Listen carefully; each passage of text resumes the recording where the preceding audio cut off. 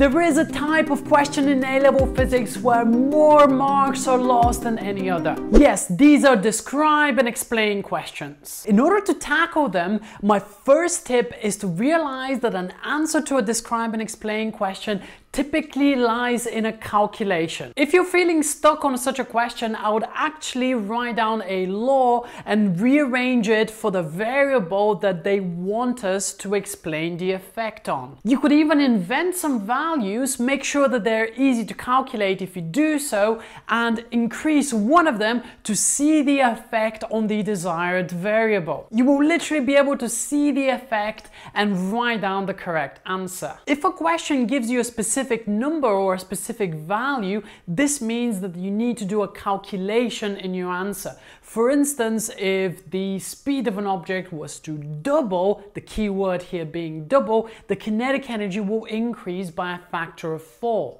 and the mark scheme will expect that exact value. I don't see that many people doing this, but when you come across a describe and explain question, if it is three marks, I would immediately bullet point three separate marks. This will help you organize your own knowledge into three separate points, but also do not give up until you have written down something that you know that is true for that final mark. More often than not, you will get some marks for it. This next tip is really, really important and is at the heart of doing really well in those questions. And that is solve multiple past papers, ideally in the time conditions and analyze the mark schemes. You should be able to see patterns of the types of answers that do appear for your specific exam board. Additionally, some describe and explain questions have very, very specific wording. For instance, how are absorption and emission line formed in quantum physics? Make sure that you learn these and you'll be able to reproduce those automatically if that question was to appear. Make sure to go over the specification and identify any parts that are very specific